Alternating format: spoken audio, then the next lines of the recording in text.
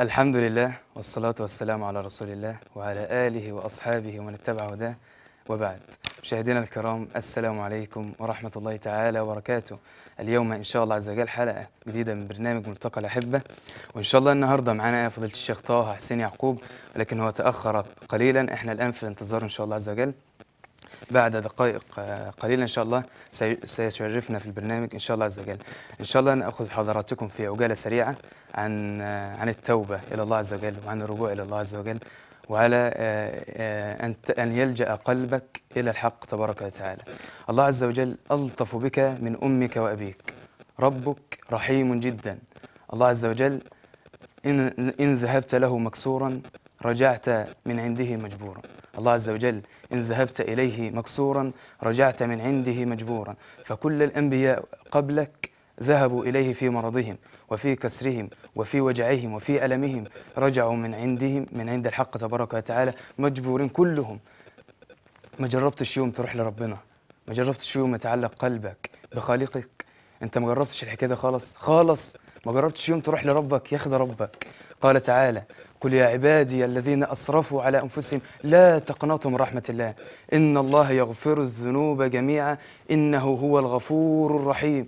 مغفرة ما بعد ما فيش بعد كده مغفرة. هتقول لي يا عم ده أنا عملت ذنوب كتير إزاي هرجع لربنا؟ ده أنا مش هيقبلني. لا هو ربنا أصلا بيقبل دعاك عشان أنت كويس.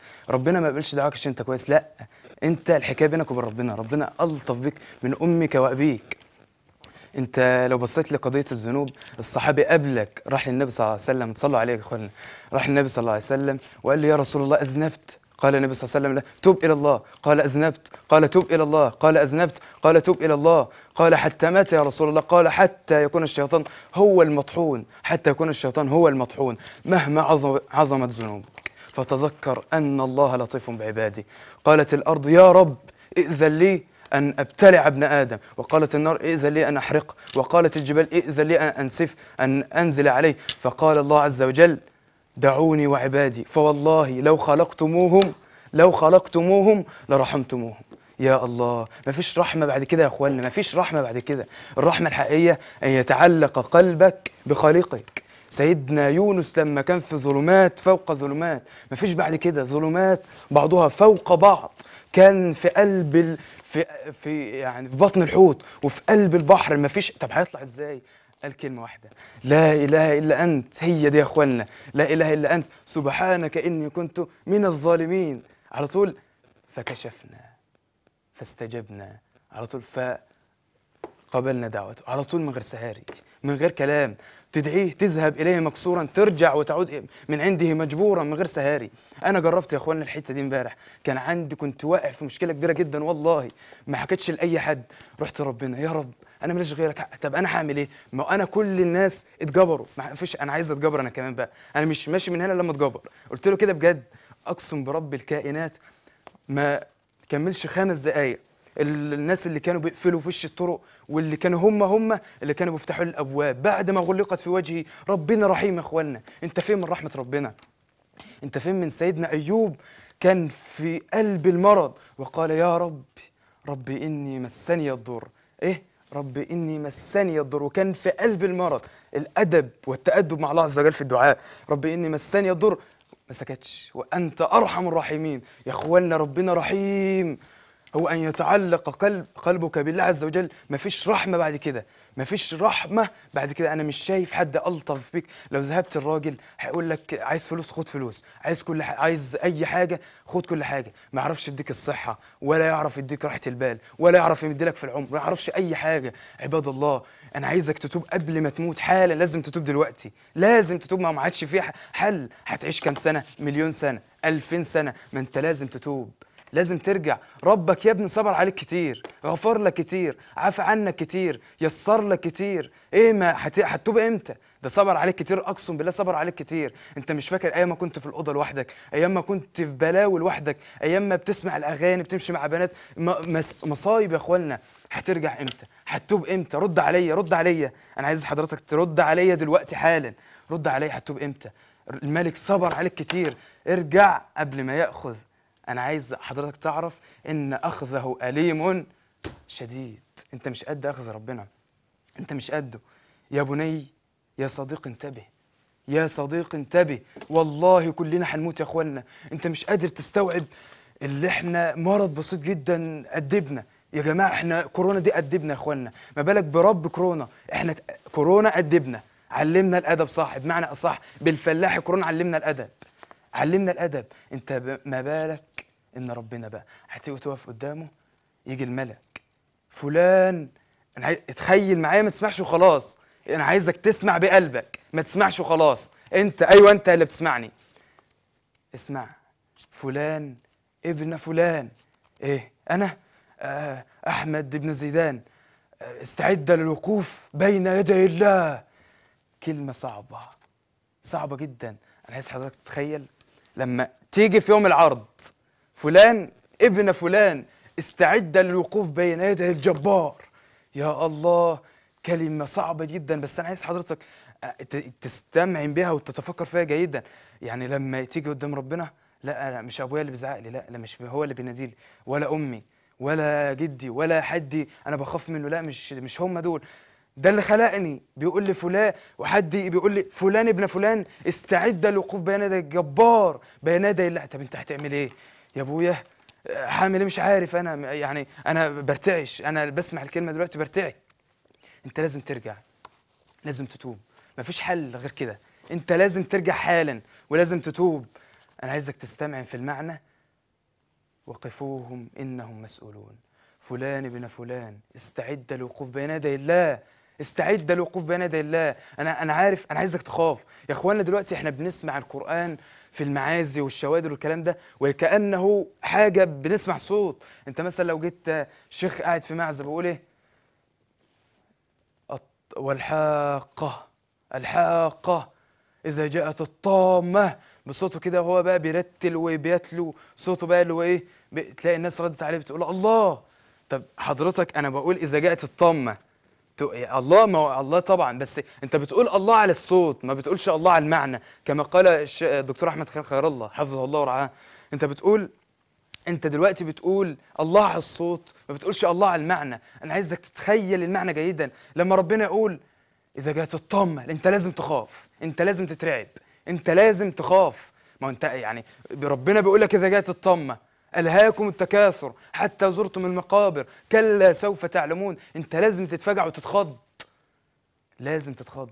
حبيب قلبي مهما عملت ذنوب تذكر إن ربنا رحيم ولطيف. مهما عملت الذنوب ومهما جريت على نفسك بالذنوب والمعاصي ربنا رحيم جدا جدا. فضيلة الشيخ طه حسين يعقوب ربنا يحفظه إن شاء الله يشرفنا بعد قليل. بيقول إن كان في واحد خرج مع قافلة إلى الحج. خرج مع قافلة إلى الحج. فهذه القافله كانت في فيها امرأة جميلة جدا واحدة جميلة جدا. فطلعوا الحج وبعد ما خلصوا الحكاية كل واحد نام وخلاص كل واحد نام على سريره والمرأة كله نام. فالراجل دي قام وراح للمرأة. المرأة قالت له انت عاي... المرأة دي قالت له انت عايز إيه؟ قالت له والله ما خرجت إلى الحاج ما خرجت في هذا العام إلا من أجلك أنت. ما خرجت إلا من أجلك أنت. يعني أنا سبت مصر وسبت كل حاجة ورايح للسعودية عشان خاطرك. ما أنا عشان خاطرك. فالمرأة هل نامت القافلة؟ والله ما أتيت. قال لها كده. والله ما أتيت ما أتيت إليك إلا وإن ضمنت أن القافلة قد نامت. فقالت له وهل نام الله؟ هل نام الله؟ ففر الرجل هاربا وارتعد الراجل اتفجع. ربنا يا ابني ربنا ده أنت عارف يعني إيه ربنا؟ الحق تبارك وتعالى. شايفك وأنت بتعصيه. أنت أنا عايز حضرتك تتخيل كده. هو مين ده اللي شايفك؟ آه والدك أخوك شقيقك آه صاحبك صديقك. شافك وأنت مثلا بتعصي وأنت بتزني وأنت بتسرق. إيه ده؟ أنت كده اتفضحت صح؟ لا أنا بقول لحضرتك ربك اللي شايفك وأنت بتعصي. يعني شايفك وانت بتعصي شايفك في حال معصيتي. وأيضا كما قال فضيلة الشيخ بيقول أنت يعني مثلا لو سألت حضرتك سؤال هل تعلم أن الله يراك وأنت تعصيه؟ هتقول لي آه آه، عارف. لا ما ينفعش تقول عارف. ليه؟ لأن أنت لو قلت عارف إن أنت شا... اللي ربنا شايفك وأنت بتعصيه يبقى أنت كده مستهزئ بقدرة الحق تبارك وتعالى. وما ينفعش تقول لا. طب أمال إيه- قول إيه؟ طب يعني قول حضرتك حاجة أقولها. طب أنا دلوقتي لا أقول آه ولا أقول لا. أقول إيه؟ أنا كده اتلجلجت. تبص في الأرض. ضع وجهك في الأرض واخفضه ذلا وخشوعا وحياء من الذي خلقك. ده أنت عصيت. ده أنت زنيت. ده أنت سرقت. ده أنت كذبت. ده أنت عملت مصيبة. إزاي تبص في وش؟ إزاي مش فاهم حضرتك يعني؟ إزاي أنت مش مكسوف من نفسك؟ أنت اللي بتشاهدني دلوقتي حالا مش مكسوف من نفسك. وأنت عارف إنه شايفك. انت تقدم الاعتذار لربنا تقدم الاعتذار لخالقك. تقول مثلا يا رب أنا بعتذر. أنا أنا أنا زنيت. أنا عملت أنا عملت مصيبة يا رب. بس أنا أنا مشكلتي اللي أنا بحب الذنب ده. يا رب أنا بحبه كرهني فيه. هو كده روح صرح له على كل حاجة. يا رب أنا بحب صاحبتي. مش هقدر أسيبها. دي صاحبتي ما أنا بموت فيها بعشقها. مش هقدر أسيبها يا رب. روح له صرح له. قول له يا رب أنا بحب الذنب الفلاني كرهني فيه لأن أنا بحبك. يا ربي أنا بحط إيدي على الولاعة بتلسعني. أنا مش قد عقابك يا رب. لا أنا ما, ما, ما ينفعش. ما أنا ما أقدرش أتحط في النار ويتقال لي يوم القيامة خذوه فغلوه. أنا ما أقدرش كده يا رب. لا أنا ما أقدرش. الصراحة يعني أنا عن نفسي كأحمد مسعد زيدان أنا ما أقدرش. إن ربنا يعاقبني. بجد يا إخوانا بجد إحنا في في في غفلة شديدة جدا. إحنا في توهان. يا عم أنت هتموت. يا عم أنت لازم تموت. 60 سنة 70 سنة هتموت. أنت هترجع إمتى؟ قول لي بالله عليك. صرحني دلوقتي. أنا عايز حضرتك تقول لي أنت هتموت. هتتوب إمتى؟ هتتوب لما تموت؟ هو ليه مش فاهم يعني أنت؟ يعني أصل أنت لازم ترد عليا. أصل أنت لازم تقعد مع نفسك دلوقتي وترد. أنت هتتوب إمتى؟ رد عليا. جاوبني. حضرتك مش فاضي؟ غير آه، تشتم العلماء غير تتكلم ده الشيخ الفلاني راح والشيخ الفلاني جه أبو لحية مكنسة جت وب... الكلام ده كله إيه يا اخوانا مالكم؟ دي سنة ودي شرع ودي دين مفيش هزار ولا في ده دين دين الشرع شرع السنة سنة مفيش كلام بعد كده ما تتكلمش يبقى لازم ترجع ولازم تتوب ولازم تعرف إنك مسؤول موقوف بين يدي الجبار هتتسأل والله لا تتسأل. هتتسأل يعني انت حضرتك انا إحنا دلوقتي على التلفزيون دلوقتي لو حد جه دخل عليا دلوقتي وأنا قاعد كده. يا احمد نعم. آه، حضرتك ممكن تعرض بس اللي فات من عمرك كله على الشاشة دي دلوقتي قدام الناس كلها؟ طيب حضرتك بتهزر ولا بتتكلم بجد؟ يعني أنا بكلم آه بكلمك. بتهزر ولا بتتكلم بجد؟ لا ما بتكلم ما بهزرش أنا بتكلم بجد. لازم تعرضها.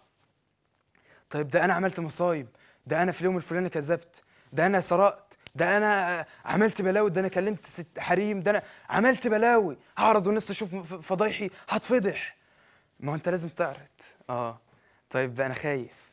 يا عم أنت ده هتتعرض يوم القيامة بين يدي الجبار.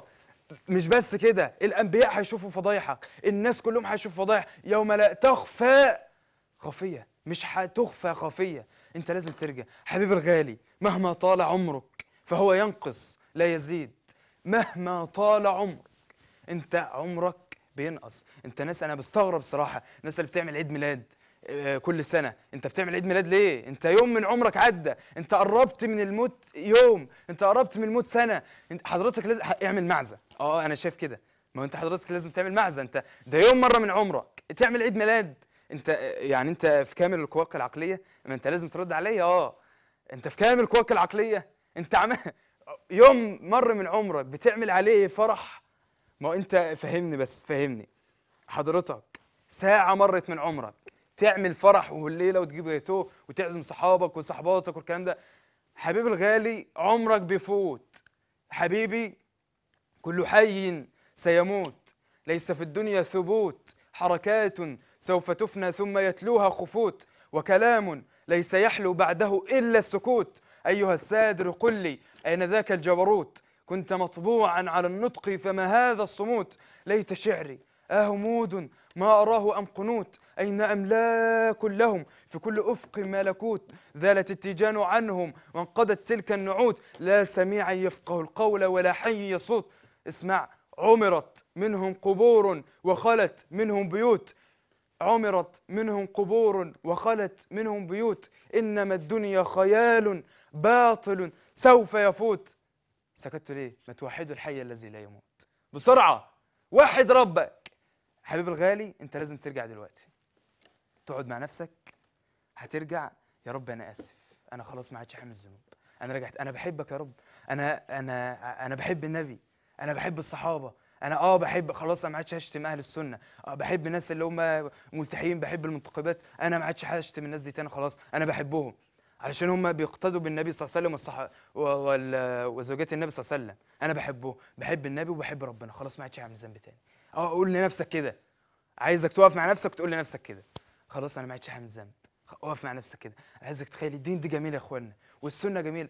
تعالى كده أحببك في النبي صلى الله عليه وسلم. لو دخل عليك دلوقتي. أه أنت أنت أنت. يا اللي قاعد أنت. دخل عليك وأنت قاعد نفس قعدتك كده. بصيت لقيت الباب بيطرق آه، من الطارق. اسمع أنا النبي صلى الله عليه وسلم. إيه؟ النبي صلاح هتعمل إيه؟ أول كلمة هتقولها له إيه؟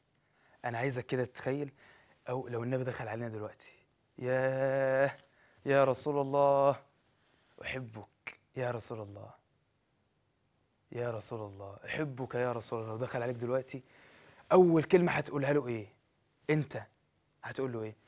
أنا عن نفسي حضن بقى واللي هو ي- بيلتزق التزق ال- ال- الجسدين في بعض كده وحضن رهيب والبكاء بقى أنا بح- بحبه جامد. ما أقدرش. ده النبي صلى الله عليه وسلم. ده النبي حبيبي.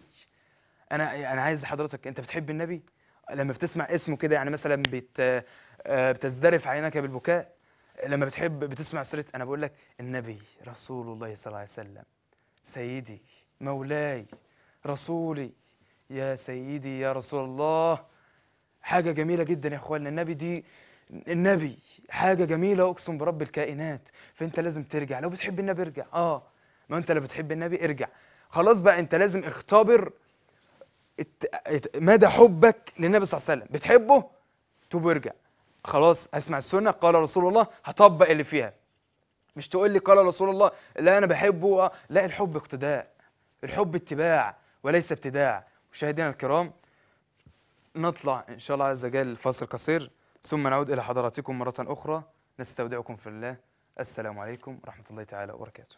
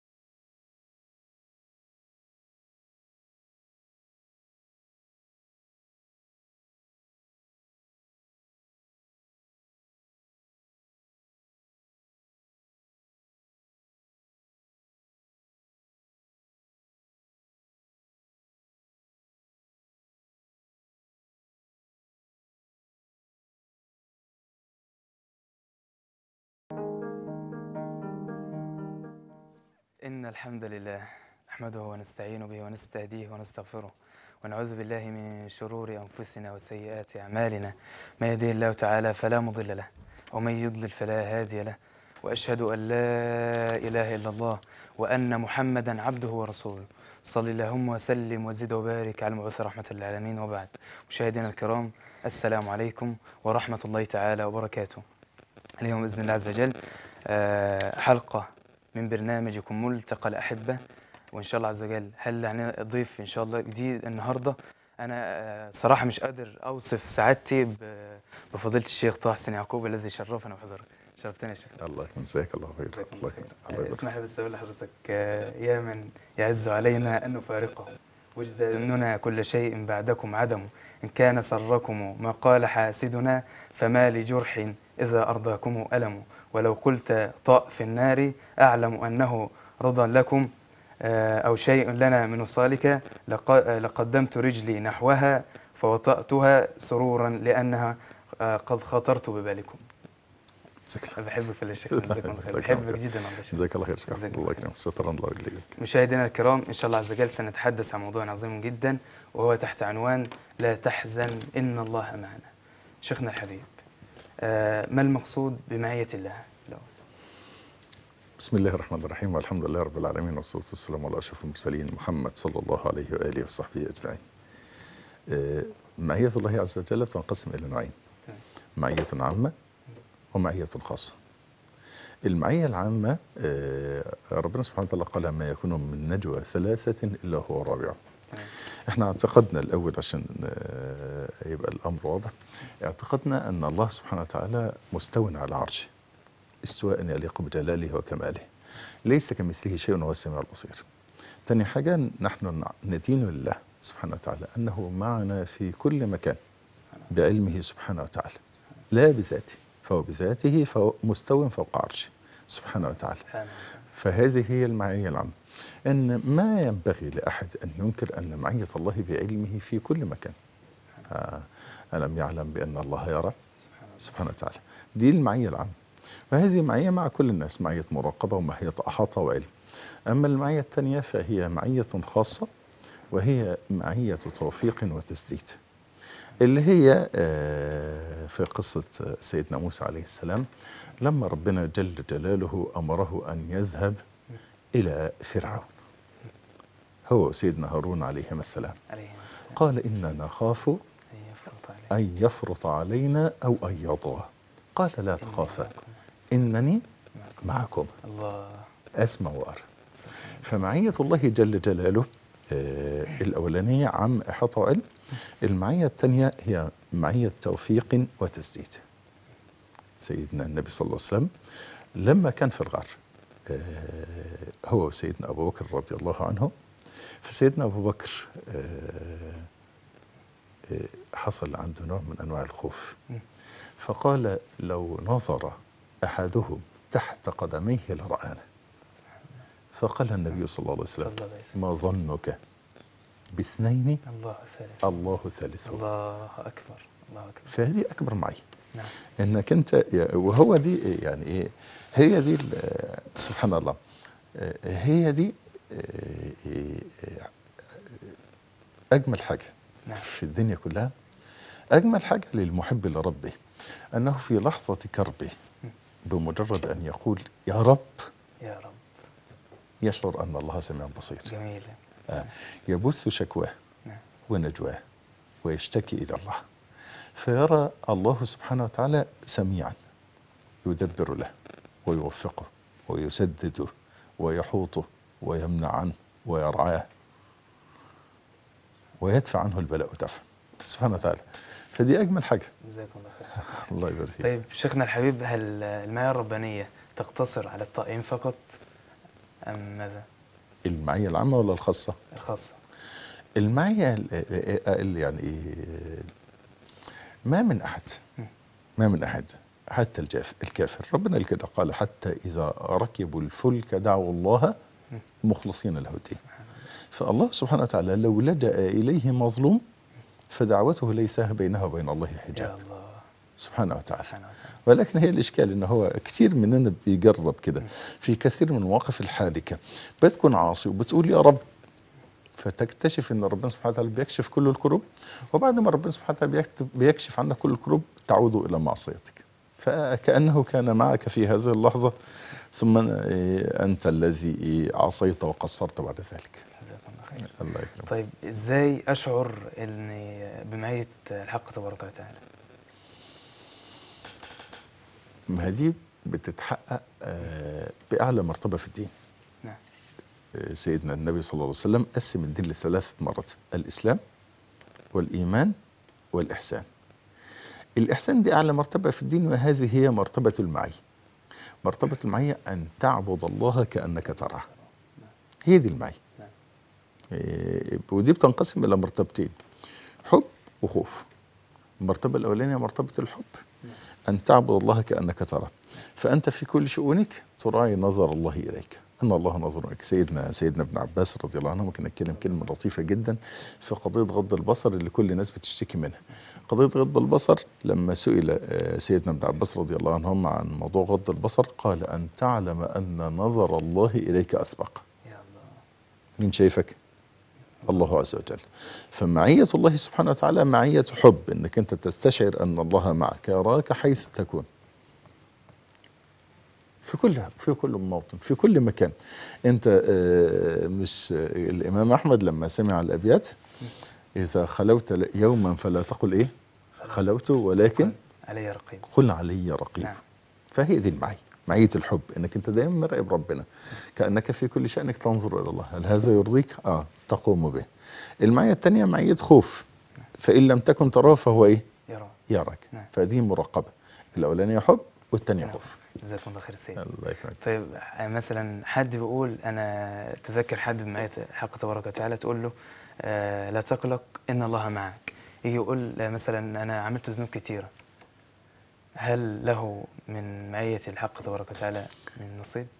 أصلا هي الأمر متعلق بقلبك بربنا نعم تعلق عشان. القلب تعلق بالله. القلب بالله نعم، نعم. بمجرد إنك أنت أذنبت ماشي إيه، إيه، سبحان الله كان امبارح آه، كلمتين من ألطف ما تكون إيه، الحديث القدسي عن رب العزة عز وجل قال إيه إيه، إذا تقرب عبدي إلي شبرا يا الله تقربت حديث ذراع. ذراع نعم فقال لك إنك أنت إذا تقربت شبر لابد أن تشعر أن مقدار إقبال الله عليك أكبر من مقدار إقبالك عليه. جميل يا سيد آه يعني أنت داخل شبر. أنت دخلت شبر. هو سبحانه وتعالى تقرب إليك إيه؟ ذراع ذراع فتقربت ذراع لا لا لازم زيادة. رحيم. تعال ها إذا أتيته تمشي ها يأتيك إيه. هرولة. فمستحيل أن تتقرب إلى الله سبحانه وتعالى وتلجأ إليه في الشدة. ربنا سبحانه وتعالى لا يغفل العبد المؤمن أبدا. سبحان الله. سبحانه وتعالى. وإن خذله يعني برضو عشان نبقى متفقين عشان ما يبقاش الأصل أن أنا لجأت إلى ربنا فأنا حسيت أن المغ... فإن إن إن إن الله سبحانه وتعالى لم ينصرك فلا تتهم الله سبحانه وتعالى. سبحان الله. اتهم نفسك. سبحان الله. طيب آه، في سؤال ورد على الواتس من أخ ولكن هذا السؤال خارج نطاق الحلقة. ممكن اعرضه ولا اتفضل إيه؟ اتفضل آه، أخ ال- الشيخ ربيع هلي ربنا يحفظه بيقول رسالة من فضيلة الشيخ طه لإخوة تفككت عن الدعوة. نعوذ بالله. آه، أول حاجة ال- كان الشيخ أبو إسحاق ربنا يحفظه. ربنا يحفظه ربنا آه، بيقول كلمة لطيفة في قضية الدعاء. آه، فبيقول لك إن دول حراس الثغور. حراس؟ الثغور. نعم. آه،. فأنت واقف على الحدود. مم. أو حراس الحدود. نعم. أنت واقف على الحدود. لو حضرتك سبت الحد العدو هيدخل. صحيح. والشيخ يعقوب ربنا يحفظه. ربنا يحفظه. آه، ربنا بيقول لك إن الداعية مم. مكتوب على رأسه على جبهته هذا وقف لله تعالى. سبحان الله. فالوقف لله ما حدش يرجع في هبته إلى الله. النبي صلى الله عليه وسلم قال في الإيه؟ في العائد على في هبته كالكلب يعود في إيه؟ في قيء الراجل الثالث كان بيقول إيه بيقول إن, إن إنك أنت إذا اخترت عمل الدعوة إلى الله سبحانه وتعالى فالكلام ده ما فيش تراجع. أنت اخترت إنك أنت تبقى محفظ لكتاب الله عز وجل فكون إنك أنت قمت بهذه المهمة ما فيش في نص الطريق وتقول لهم لا لا أنا عيل أنا مش هلعب تاني. صحيح. أنت كلفت بنفسك بأشرف مهنة مهنة الأنبياء صحيح. وهي الدعوة إلى الله عز وجل. فما فيش حاجة اسمها ترجع تاني. حضرتك اللي كلفت بانك انت تكون إمام بالمسجد. ما تجيش تقول لهم لا دوروا على إمام تاني. حضرتك. كلفت بانك انت تخطب جمعة. ما تجيش تقول لهم لا لا أنا مش هخطب خلاص أنا بطلت. حضرتك كلفت إنك انت تقول درس أو مجلس علم. ما تقولش لا لا لا أنا مش نعم. دي دي ده شرف لا يناله الا الا إلا أكارم الرجال. فما ينبغيش إنك انت تيجي في وقت الشرف. فأنت إذا كلفت بعمل دعوي اوعى تتوانى أوعى تقصر. أوعى تأتي يوم القيامة فيقول الله سبحانه وتعالى شرفتك فلما فررت يا الله خطير جدا ربنا يسترنا. وإياك. جزاكم الله خير سيدنا. الله يكرمك سيدنا في آه، السؤال الثاني يقول آه، أنا القصة سيدنا التي دارت بين سيدنا أبو بكر الصديق رضي الله عنه والنبي صلى الله عليه وسلم وسبب نزول الآية آه، لا تحزن إن الله معنا آه، يعني هل القضية تعلقت بهما أن آه، الأخ يطمئن أخاه؟ هم لما جم أهل التفسير اتكلموا في تفسير الآية فأنزل الله في السكينة. في السكينة. أنزل الله في السكينة. قالوا السكينة هنا نزلت على قلب من؟ ما هو سيدنا النبي صلى الله عليه وسلم ساكن وكامل. سيدنا سيدنا سيدنا وسلم ما كانش عنده أي نوع من أنواع القلق. مين اللي كان قلقان؟ سيدنا أبو فأنزل الله السكينة على قلب من؟ على قلب سيدنا أبو بكر لأن النبي صلى كان عنده السكينة ما هو مجرد إن سيدنا أبو بكر رضي الله عنه بيقول إيه؟ بيقول آه لو نظر أحدهم تحت قدميه لإيه؟ لرآنا سيدنا النبي صلى قال له قال ما ظنك؟ يا الله آه. فهي العملية كلها. النبي صلى الله عليه وسلم ساكن أصلا. صحيح. عشان كده مثلا إيه ابن القيم عليه رحمة الله بيقول كانت إذا اشتدت بنا الخطوب و... و... واشتدت بنا الهموم وكثرت البلايا ذهبنا إلى شيخ الإسلام فنظرنا إلى وجهه سبحان الله. فإيه فنزلت السكينة على قلوبنا. الله.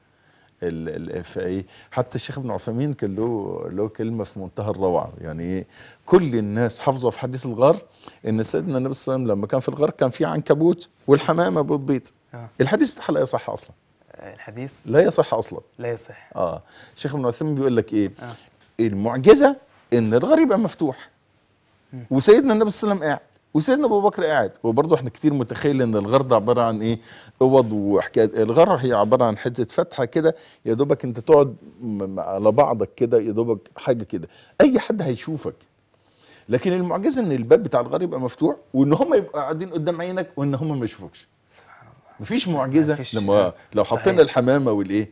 والعنكبوت ما أي حد معدي هيقول إيه هيخش هنا إزاي؟ أكيد طبعا. فالمعجزة دي كده إن المعجزة إن هم كل حاجة مفتوحة. فسيدنا أبو بكر شايف إن هو شايفهم لكن المعجزة إن هم ما يشوفوش. صحيح. هي دي السكينة بقى. تنزل السكينة خلاص مع سيدنا أبو بكر آه أنا شايفه أهو. طيب لكن هو مش شايفني. آه. فتنزل السكينة. صحيح. جزاكم الله خير سيدي. طيب آه، سبب آه، كثرة البلايا. هل تأتي آه، يعني بإرادة الله عن العبد؟ لا. الإعراض مش من ربنا. الإعراض من العبد. الحسن البصري كان بيقول كلمتين جمال كده بيقول إيه؟ يقول أيها المعرض عنه أيها إيه؟ المعرض عنه فإن إعراضك منا لو أرادناك جعلنا كل شيء فيك الله تاني. كلمة جميلة جدا. أيها المعرض عنه من المعرض؟ أنت. صحيح. أعرضت عن مين؟ عن الله. عن الله. آه.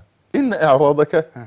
منا اللي مش عايزينك. آه. يا الله. لو أردناك جعلنا كل شيء فيك يريد. صحيح الله. جزاكم الله خير سيدنا. الله هو يبارك ح- في الحقيقة المفترض يعني آه، فضيلة الشيخ إذا حضر آه، نقدمه إ- إلى يوم كامل ولكن في الحقيقة المفترض كانت الحلقة كمان ساعة لكن آه، حصل ما حدث. آه، والله الأمر إن شاء الله عز وجل نلتقي في حلقة آخرة في حلقة أخرى. وفي نهاية هذه الحلقة لا يسعني إلا أن أشكر فضيلة الشيخ طه حسين يعقوب الذي شرفنا بحضوره وأشكر حضراتكم على هذه المشاهدة الطيبة. مشاهدينا الكرام نستودعكم في الله عز وجل. السلام عليكم ورحمة الله تعالى وبركاته.